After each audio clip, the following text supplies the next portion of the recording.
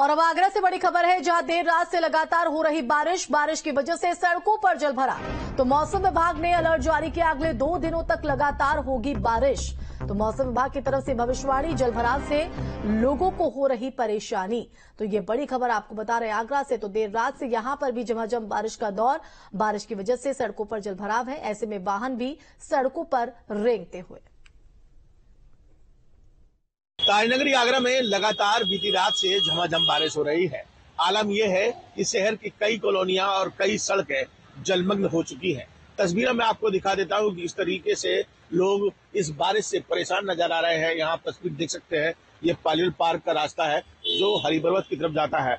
और यहाँ पर आप देखेंगे तो बारिश में जो भी व्यक्ति घर से बाहर निकल रहा है, वो कहीं ना कहीं अपने वाहनों की जो लाइट है, वो चालू करने के बाद ही आगे बढ़ रहा है। तो कुल मिलाकर घने बादल लगातार कई क्षेत्रों में छाए हुए हैं, देहात क्षेत्र में। इसके अलावा कई क्षेत्रों में जोरदार बारिश हो रही है और कई क्षेत्रों में लगातार रिमझिम बारिश बीती रात से ही हो रही है। और यही बारिश जो है, वो लगातार परेशानी का सबब पड़ती है, क्योंकि पिछली बार देखने को मिला था, अगर दो दिन पहले की बात की जाए तो जब बारिश लगातार दो दिन आगरा में हुई थी तो तमाम पेड़ों के गिरने की सूचना आई थी, तमाम मकान क्षतिग्रस्त हुए थे, तमाम जो दीवारें थी, वो गिर चुकी थी। और इसकी वजह से काफ़ी परेशानी लोगों को सामने आई थी। इस बार भी ऐसा देखा जा रहा है कि लगातार बारिश जो है, वो लोगों को परेशान करती नज़र आ रही है और लोग घरों से बामुश्किल निकल पा रहे हैं। बारिश से कितनी परेशानी हो रही है आपको? परेशानी हो रही है, कॉलेज जाने में परेशानी हो रही है पर कॉलेज तो जाना ही है, और पानी यहाँ सड़क पे आगे भी भर जाता है, जाओ तो पूरे कपड़े बेकार हो जाते हैं, मौसम अब तो पूरी सड़कें जलमग्न हो गई है अंदर से बाहर हाँ। हाँ घुटनों तक पानी आ जाता है चलने निकलने में परेशानी हो जाती है।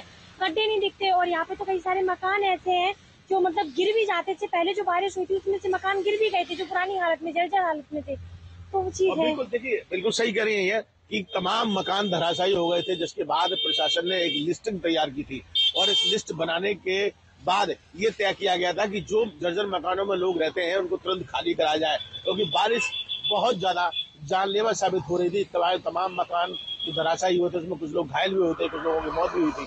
तो अब एक बार प्रशासन फिर से ऐसा अनुमान लगाया जा रहा है, मौसम विभाग का अनुमान है कि लगातार ये बारिश जो है, वो दो दिनों तक देखने को मिलेगी ऐसे में लोगों ने अलर्ट किया है, प्रशासन ने लोगों से यही कहा है कि वो घर में रहें, सुरक्षित रहें, कोशिश करें घर से कभी बाहर निकलें और इस बारिश का आनंद का अगर लेना है, लुत्फ उठाना है तो घर में ही बैठकर लुत्फ उठाएँ, क्योंकि तो बाहर आपको इस बारिश से परेशानी झेलनी पड़ेगी। वीडियो मनोज के साथ आगरा से विनीत दुबे न्यूज़ उत्तर प्रदेश और इस बीच आपको